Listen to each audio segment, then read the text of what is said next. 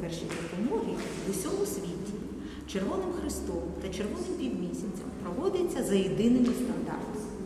Ці стандарти кожний е, вдосконалюються. Е, тому е, сьогодні і оцей тиждень проходить обмін досвідом. Як це проходить в Червоний півмісяць читає чи Червоний хрест? Ми вдосконалюємо свої знання, навички, щоб потім передати їх нашим слухачам.